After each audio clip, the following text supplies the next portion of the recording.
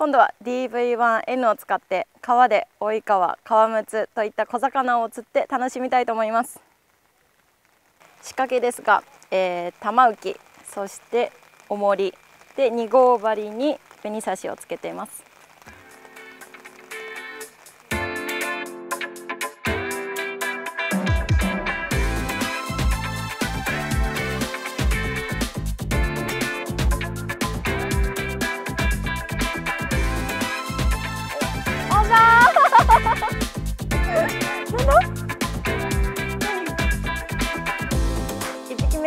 油はや釣りました。1分足らず。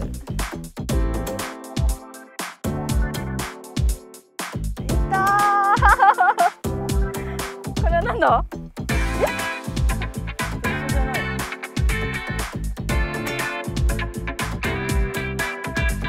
パワマツゲットしました。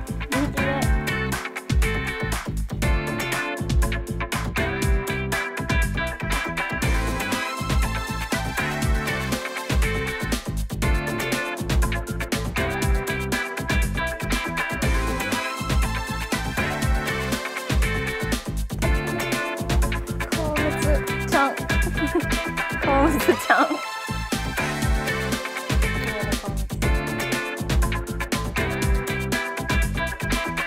今度はちょっと場所を変えて水玉になっているところを狙っていき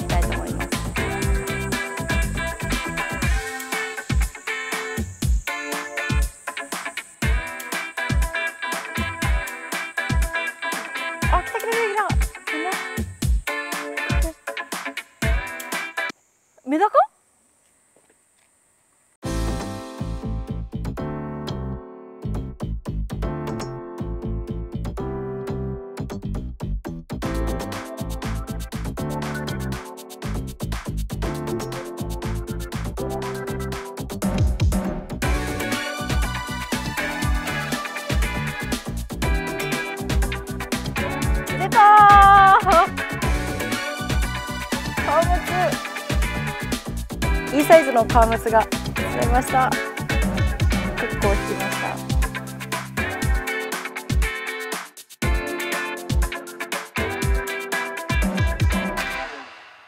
あら来た。来た来た来た来た。え？何これ？え？あゆじゃんあゆ。あゆ。まさかの。えー、ちゃんと追い星ありますよ。すごい。まさかの。アユが釣れました。びっくり。こんな小さな川に。東京湾から登ってきた天然のアユだそうです。